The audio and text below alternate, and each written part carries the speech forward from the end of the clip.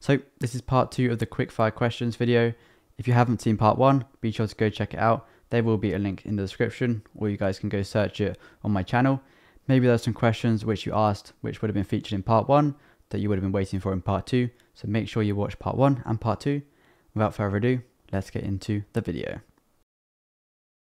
Well, I'll always hold the GBP because obviously I'm in England, but I'll trade in USD with prop firms simply because if you do simple calculations, if you buy a prop firm, they give you £140,000 usually or $200,000 and $200,000 is obviously more after you convert it. So I trade with USD, get paid in USD. You know, my bank actually allows USD payments in, so it's completely fine. But usually all my money, my bank accounts are in pounds simply because I live in England. And also if you are trading 200k account instead of 140k, the lot sizes are so much easier to calculate. It's literally, if you're using uh, 10 lots, for example, $100 per pip instead of a random amount for 140k because it's in pounds, not dollars. And obviously, you're trading with 10 lots, which is $1 per pip. So, when I'm trading with prop firms, I don't really look into the commission too much because if I'm in profit, I'm in profit a lot of people say, "Oh, I'm not that profitable because of all the commissions, the high commissions." If you're making five percent on the trade, that fifty dollar commission isn't going to matter. You make five k, ten k on a trade. What does fifty dollar commission matter? You're entering a trade. There's obviously going to be fees on that trade. The only downside to actually trading with a, an account with no commission or little to no commission is you get higher spreads. The sacrifice with getting zero spreads or lower spreads is simply that you have a commission or a fee on every single lot that you trade. So you're going to be in more trades because tighter spread means your stop loss isn't going to get hit as soon, or your entries are going to actually trigger when price is actually in that area. But also, you, the downside is you have commissions, but it's not really anything to worry about. It's not really something that I'll pick one firm over the other simply because of the commissions per trade. Well, payouts are going to be lower because if you make $30,000 on a trade, firstly, they take a commission of this trade. So majority of prop firms now take 10 to 20% profit. It used to be 30%, but now it seems to be going lower and lower. And if they take 10%, you obviously only get $27,000 on this trade. And obviously, I live in England, so you have to convert that to pounds as well. So if you make $30,000, you're probably only making 20 or maybe like 18, 19K on a 30k trade. So that is why the payouts will always be lower.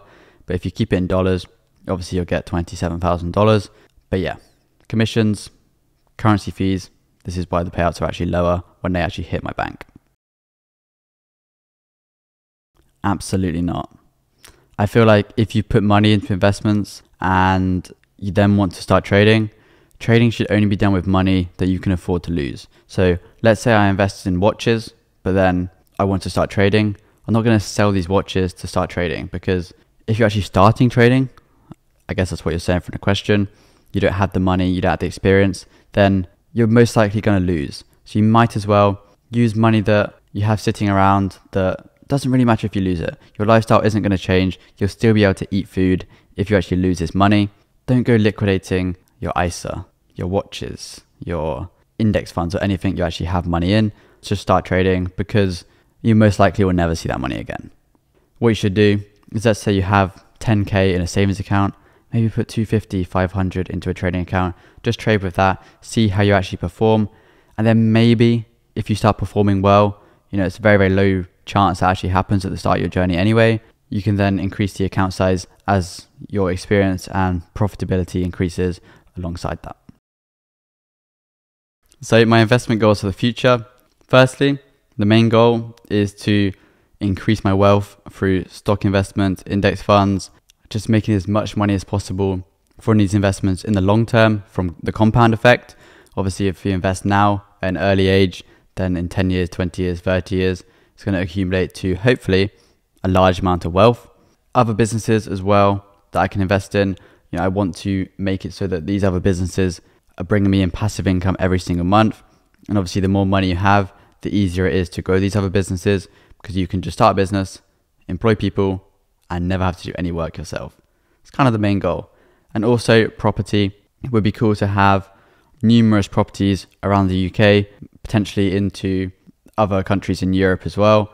Obviously, houses of my own to actually live in whilst making all this money from the investments alongside that. Well, yeah, it's quite tricky because you can't beat the nice English countryside.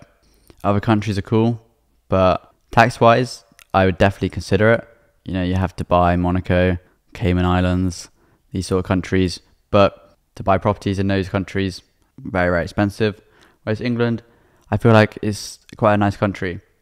Countries maybe I'd move to France, Italy, you know, countries in Europe that are fairly close, mainly because you do get some tax benefits from this, especially if you own property in these countries as well. I think Italy has a flat rate tax of 100k, so you can never go above that 100k. If you're making under that amount, obviously it's pretty pointless to get the tax benefits, but it wouldn't actually be a benefit at that point. But for now, sticking to England, hopefully getting some property in England soon too, if the the market does make it a good time to buy. My win rate. Wow. That's a secret I'll never tell. I'm joking. So, win rate, very, very tricky to determine again because of the setup and trade thing. But let's just say this 21 win streak at the moment. I mean, that's pretty good. So, if you're looking at my Myfxbook, win rate's only 48%, but does depend on how many setups you actually take and the trades per setup. So, I'd say around like 70, 80%, depending on the strategy, depending on the account, because I trade each account differently. But my main account technically is 48%, but we are up 32% in four months. Let's just say that. So it's actually considering doing a whole YouTube video on this because I get a lot of questions. How did you pick GBP USD? Why did you stop trading gold? And I'll just briefly go over this now. The main reason is I was trading gold in New York session and I didn't want to trade New York session. I wanted to trade GBPUSD because London session obviously it's early morning in the UK up to around lunchtime, which allowed me to trade for the first few hours of the day after I've actually woken up, and then the rest of the day take it completely off. Whereas if I'm trading GU and gold, you have to trade both sessions. If you're trading just gold, you have the few hours in the morning, and then you have to get on the charts and trade. I feel like doing the work and actually get things done in the morning is actually a lot better. If you're the type of person that doesn't wake up for the first five hours of the day, then it's probably not the best for you. And maybe New York would be good, but the volatility of gold is amazing. You can make massive profits.